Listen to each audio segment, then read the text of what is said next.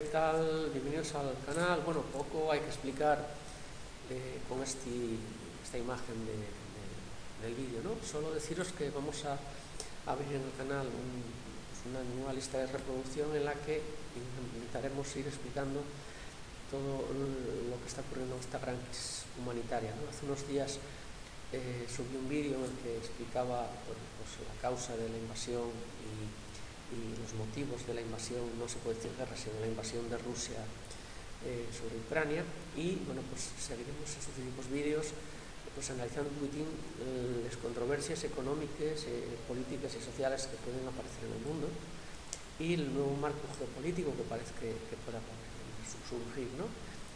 cómo puede eh, la subida de, de los carburantes, de, de los recursos energéticos, no solo de ellos, sino también de, del grano, eh, pues puede repercutir negativamente en no solo el adquisitivo de los países que están en este caso eh, en esa zona, sino eh, en el resto del mundo. Recordemos que, que, tanto Ucrania como, como Rusia representan el 30% de la exportación de, de, grano en el mundo y que hay países nosotros bueno, pues vemos afectados en el tema de la pasta, en el tema de, del pan o, los cereales que podemos tomar en el desayuno, pero hay países en los que el 80% de la alimentación es básicamente ese tipo de productos. ¿no?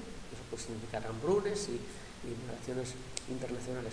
Y también tocaremos bueno, pues algunos aspectos, podemos llamar positivos en esta gran tragedia, como la uh, iniciativa eh, social eh, que en el Ayuntamiento de San Martín, el Consejo de San Martín de Rey Aurelio, concretamente el Sotrondio, pues eh, se va a llevar a cabo a partir del sábado en el antiguo Colegio San José, ¿no? en el que eh, se van a, realojar a 200 ucranianos que vienen huyendo del terror. ¿no? Bueno, se, eh, haré un vídeo en el que os pasaré con el número de cuenta que se ha habilitado para, les ayudes y también situarlo geográficamente para quien quiera llevar alimentos, comidas o lo que el listado que, que me pasaron para pues productos y elementos de primera necesidad, quien quiera acercarse y llevarlos eh, lo puede hacer. ¿no? Eh, esperemos que sean pocos vídeos los que se suban en esta sala, eso indicaría que la crisis humanitaria acabó ya. ¿no?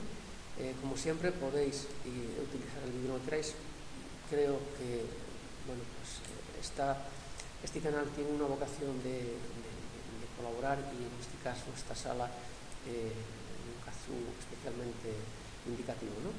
Gracias por vuestro apoyo, por vuestra presencia, eh, sobre todo por la ayuda que podéis brindar a, a estos eh, inmigrantes forzosos como fueron nuestros antepasados en la época de la guerra civil. Gracias por vuestra presencia, un abrazo y hasta la próxima.